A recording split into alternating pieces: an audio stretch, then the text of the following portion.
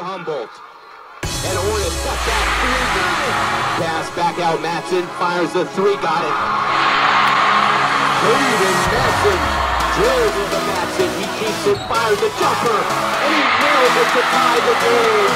Diamama Humboldt has come back to tie it. Listen to this crowd. Right to Hatcher topside. Nice drive to the rat. And a rat.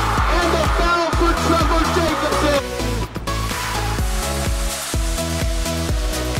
Humboldt. Hands it off to Higher. Drives down the lane. And he lays it up. Keenis has it. High post left. Snaps it pass top of the key.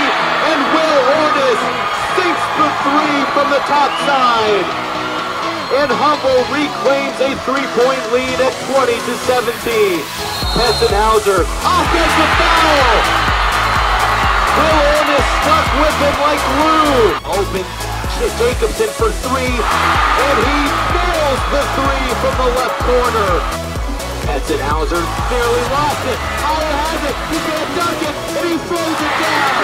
Not completely, but he puts it in. Pulls up from a left elbow jumper, and he got it to go. In the third, and Caden Matson slithers to the basket.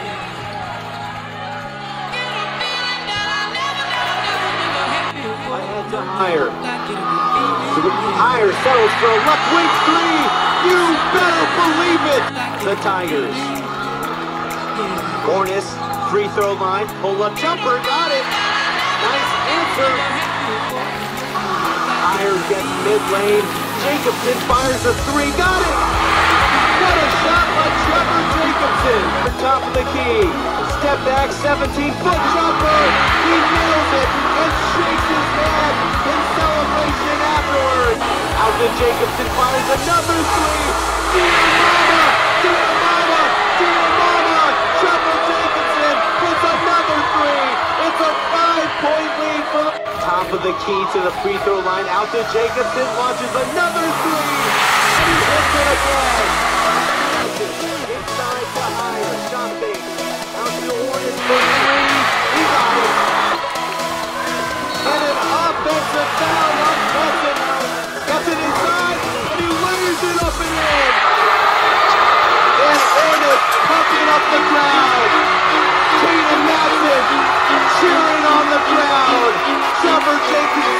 Free throw line.